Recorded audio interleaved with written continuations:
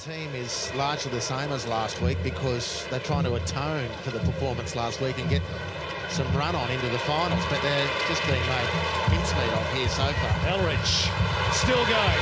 What a run this is by Tarek Elrich. Still he goes on Elrich! Oh, what a goal! That's a contender for goal of the season by Tarek Elrich. Terrific run and a super finish. 3-0 for Adelaide United. Marvellous stuff.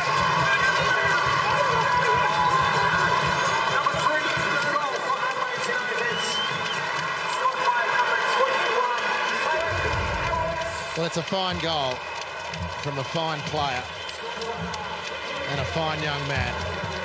But Melbourne City backpedaling, chasing shadows. Connor Chapman